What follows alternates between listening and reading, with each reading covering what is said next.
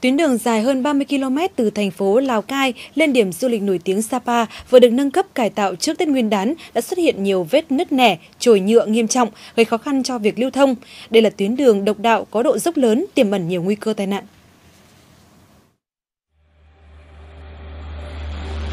Km 21 đến 23 quốc lộ 4D từ Lào Cai lên huyện Sapa, thuộc địa phận xã Trùng Trải, tỉnh Lào Cai. Nhiều vết nứt lớn kéo dài gây nên tình trạng bấp mô, khiến các phương tiện đều gặp khó khăn khi tham gia giao thông. Đặc biệt, khu vực bị nứt nẻ lại là đoạn dốc cao, cua tay áo nên thường xuyên gây tắc nghẽn cục bộ, khiến người tham gia giao thông luôn ở trong tình thế bất an. Hiện, chưa có kết luận chính thức về nguyên nhân vết nứt, nhưng theo nhiều người dân địa phương, các vết nứt trên có thể là hậu quả của sự nổ mìn trong quá trình thi công làm đường hầm thủy điện cấp san. Trong uh, thời gian qua thì có cái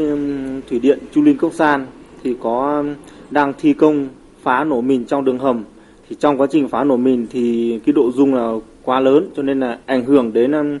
một số hộ dân về tài sản cũng là nhà cửa. Trong cái ảnh hưởng của cái việc à, phá nổ mìn đó thì uh, sát với cái mép đường quốc lộ thì có cái vết nứt là chạy song song với đường quốc lộ.